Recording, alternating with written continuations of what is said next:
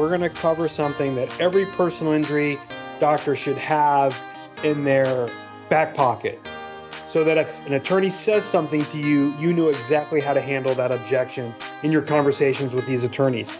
So if you're here with me today, what we're going to cover is mastering responses to the most common objections you may hear from PI attorneys. My name is Mark Slater, been a chiropractor for 25 years, all in the PI space. Mastering responses to common objections from PI attorneys. So let's get started. Here's the one most of you hear all the time. You're talking to a new attorney, a new attorney. He goes, you know what? Yeah, Dr. Slater, I think we can do some work together. You send me one, and I'll send you one. How do you handle that? Well, how I would handle that as well, Mr. Attorney, what you're explaining to me sounds like a little quid pro quo. That's called patient dealing. That's kind of illegal, and I don't really want to get into that. Uh, however, if you have uh, a client who lives or works near my office, I know that you have a five mile rule. You don't want your client driving more than five miles to the chiropractor three, maybe four times a week. Missed appointments, gaps in care can really impact the case. Secondly, unattached cases. Like if I get an unattached case, meaning they don't have an attorney, I really only send those unattached cases to attorneys I have a good relationship with. Well, what do I mean by that? The attorneys that we have a good relationship with will protect my bill at 100% as much as humanly possible, and they're going to send me two or three in return for my patient referral. I know that might not make sense to you, but let's talk about it this way average case fee for a chiropractor, you're going to know what that is. It could be 3000 it could be 5000 maybe it's 8000 Average PI settlement for a PI attorney is $26,000. So they're going to be making 3 to 4x more than you are.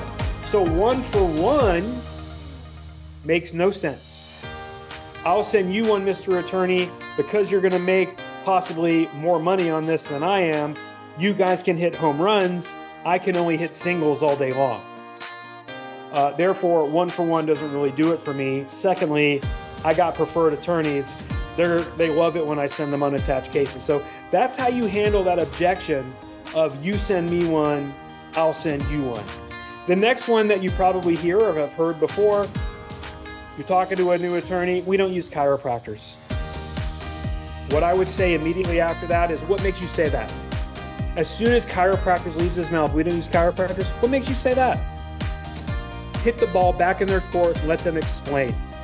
Whatever their lame explanation is, you can say, well, the majority of these cases are soft tissue cases. So sending them to an orthopedic surgeon or a neurologist or you know, interventional pain for injections is really accelerating the care that may be needed for this patient. Mr. Attorney, if you send me the case, we're going to treat them conservatively the first few weeks. If I can't get them out of pain at about week three or week four, I'm going to make a proper referral. I'm going to quarterback this case for you. I'll make sure we'll, we get them to interventional pain or neurology or orthopedics. And we'll always contact you and make sure you have a good relationship with the medical providers that we want to work with. Okay, so even though you're working with me, secondly, now this is kind of a bonus, if you have a TBI protocol or ligament instability protocol, you know, we get our TBI protocol, uh, we get an opinion of a board certified neurologist or neuropsych depending on the test that we run. So a lot of our services and modalities are backed up by a medical opinion. Okay, so that kind of sweeps the legs out of we don't use chiropractors. What makes you say that? That's what should come out of your mouth immediately when they say that. Okay? Uh, there may be some attorneys that prefer catastrophic injuries, not soft tissue, right? Um, well, you may want to ask them, well, what happens if somebody calls your office and they don't have a catastrophic injury? They just have headaches, neck pain, back pain. Where do you send those cases? Do you have an attorney from you send this to that you could make an introduction to me for? right? My dad had a friend, he did some PI. The first question he asked is, Did anybody die in the accident? I know it sounds a little dark, but he wouldn't take a case unless it was catastrophic. Concerns over patient insurance and billing. Well, let me ask you this What happens if an attorney says to you, Hey, you know what, Dr. Slater? Don't bill the med pay on this. Don't bill the PIP. Bill the patient's health insurance. You ever got that one? Bill the health insurance. Don't bill the med pay So here's how you handle that one. Number one, Mr. Attorney, I got to tell you, auto is primary. If they check uh, auto accident, did this injury, was this sustained in a car accident, and they check yes, auto is primary. Secondly, Mr. Attorney, I don't think you understand how insurance contracts work for providers. I've signed a contract with United Healthcare, for example. I am contractually bound to collect any unpaid and unmet deductibles and charge your client for a copay every time he walks in to my office. Otherwise, I can be guilty of enticement, and the insurance companies can not only kick me off the plan for violating the contract, but they can also audit me. And every single patient, United Healthcare patient that I've had over the past 10 years, they can audit every single one of them and see if I billed a health insurance on an auto case. So, Mr. Attorney, I'm going to bill the auto because auto is primary.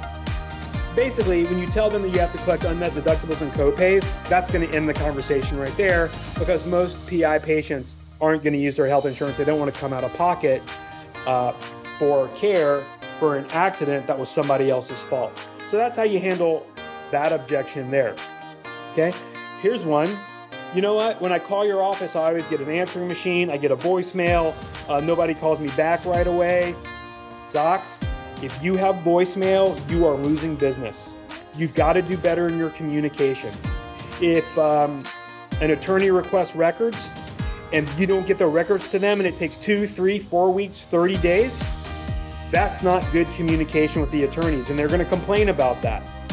Right? Communication with your office is inconsistent and unreliable. Right? When they call your office to get something, do you call them back right away? Does it take time? Make sure your communications with attorneys are on point. Very important.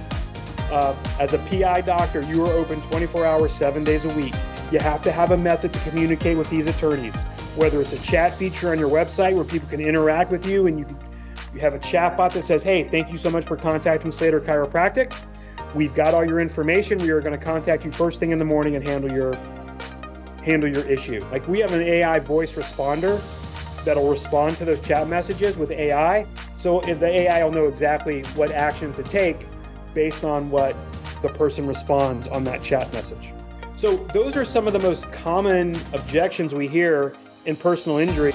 If you're in YouTube, like and subscribe to my YouTube channel. We produce a long form video on personal injury and personal injury marketing every single week to help you grow your personal injury business. Again, I'm Mark Slater with Prime Spine Consulting. Have a great day.